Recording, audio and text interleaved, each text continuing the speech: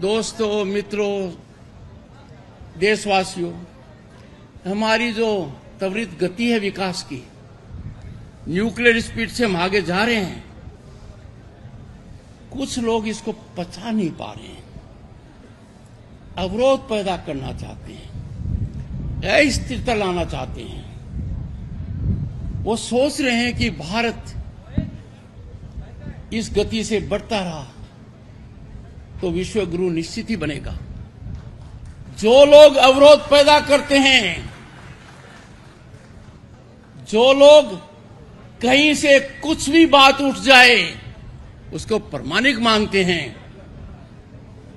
I question the nation I urge the citizens to be extremely alert at such forces sinister forces with pernicious designs, their only motto being to destabilize Bharat so that our progress is impeded.